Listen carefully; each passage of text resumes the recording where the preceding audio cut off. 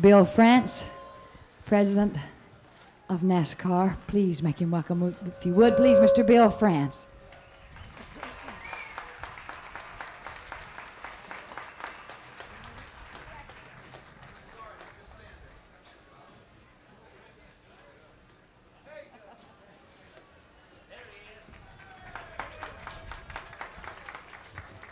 Thank you very much.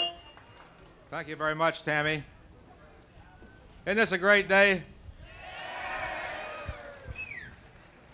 At this time, I'm very fortunate on behalf of motorsports to have one of the great days that anybody in motorsports could ever have.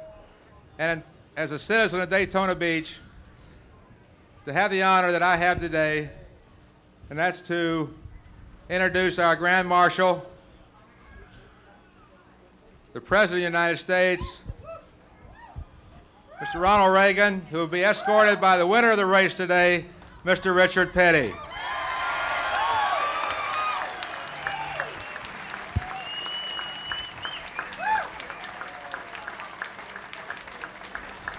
Here they are. Two champions. Welcome to NASCAR in Daytona Beach. Congratulations, Richard.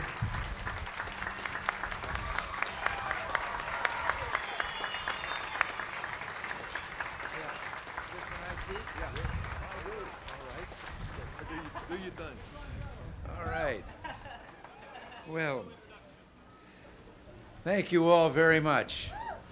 I, um, this has been a fantastic Fourth of July, and uh, I've enjoyed certainly everything with that's been that I've seen since I've been here, and with the skill and the daring that we witnessed out there and the pursuit of excellence that those drivers, and I mean all of them that are here, uh, made stock car racing a major American sport. And I know that each of them probably is proud and has every right to be, and we're proud of them. I want to take a special word to say a, say a special word about Bill France Sr. Now, Bill France Jr., yes, and I know what he's done, but I think that I guess it was Bill Sr. that got things really started. And then I've heard since I've been here that he's the grand old man of stock car racing. Now, he's on.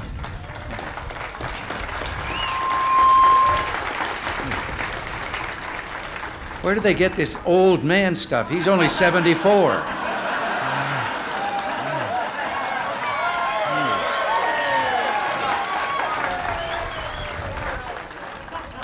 I tell you, the way I read old is old is 15 years from where you are now.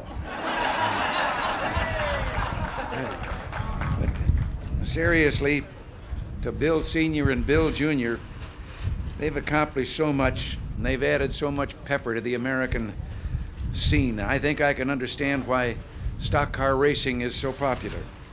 Americans have always cherished mobility, and we greatly admire innovation. And by combining man and machine, stock car racing brings out the, boast, the best of both of these American impulses. I appreciate all the work that goes into those precision machines also, because it makes you realize that the race is won in the garage as well as on the track. So congratulations to all of those fine, those workers out there that were keeping those competing cars out on the track. Now, Richard Petty, congratulations to all the others for a demonstration of skill and courage. This race puts the driver to the test. You got to keep cool under great pressure. I was told that when I was up there watching it. Keeping cool sitting so close to a hot engine isn't easy. As I found out when Richard Petty came up and I met him, I thought he'd fallen in someplace on the way. You, you, need intense concentration, concentration and stamina.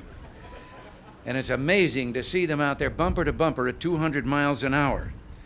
We've all done a little bumper to bumper driving. I know you have to if you live in Los Angeles with the freeways, but you're not going quite that fast. So Richard Petty, your victory is something for which you, though you and those who worked with you can rightfully be proud.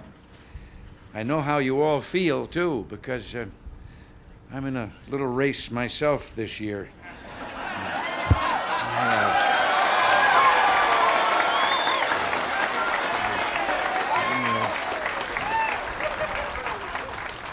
But to be a little serious, today we're celebrating our country's independence and freedom.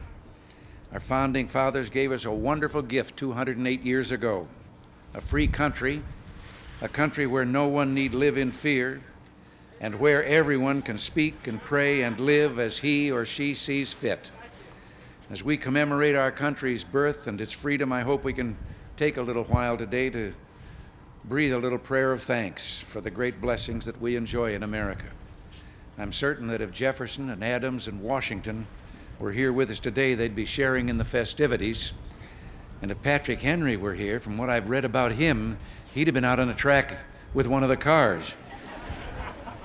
Our founding fathers were kind of gutsy, and we'd better not forget that. These patriots and all the others, rich and poor, of every race and religion, who worked and struggled and sometimes fought and died for our freedom are with us in spirit today. And I, again, I just want to thank you all for letting me spend these few minutes with you. And God bless you and God bless America. Thank you very much.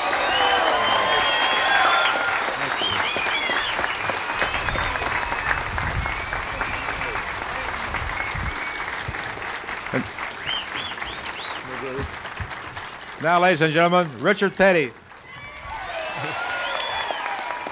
Okay, I'm, I'm gonna promise no speeches from me. Okay, I want uh, our last year's champion, Bobby Allison. Uh, he and I have something to present to the president. Bobby.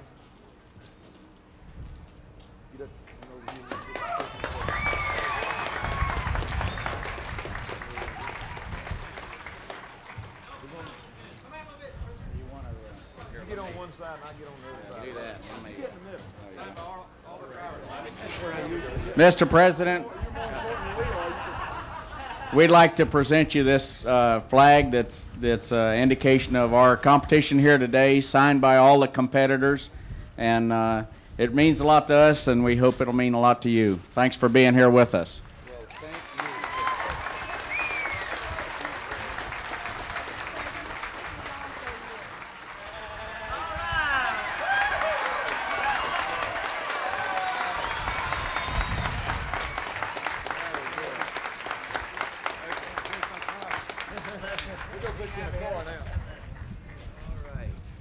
Mr. President, we're going to show you a race car, what one of them really looks like close right here on the left, and uh, it's, it's a great day. Thank you very much.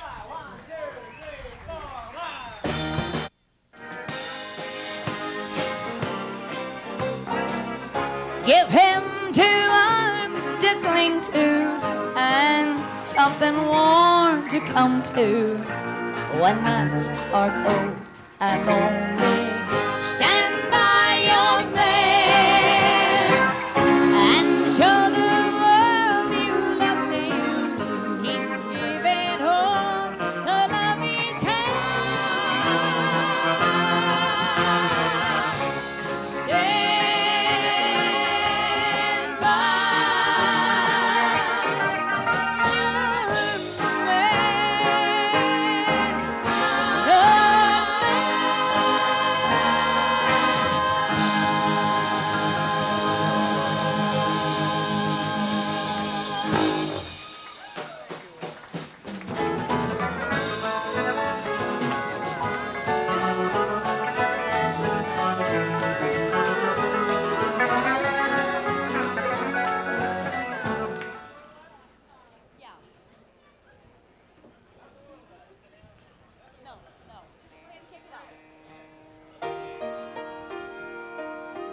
How do you follow that?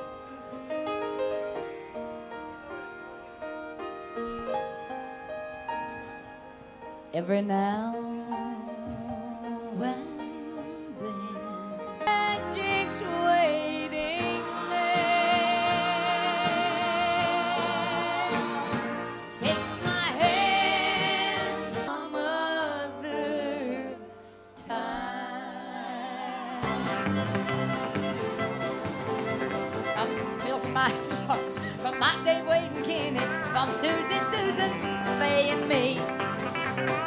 like to stay forever. We don't wanna leave you never. But there's some other place we gotta be. Like out in Arizona, New York State, and Oklahoma, Mississippi, Arkansas, and Maine. Way down in Louisiana, down in Alabama. For all of them, we've got to do time and time again. Way out in Colorado, North Dakota, if we get lucky, then once again we'll begin to pack. Please don't you forget us. We'd stay if they would let us. But just remember,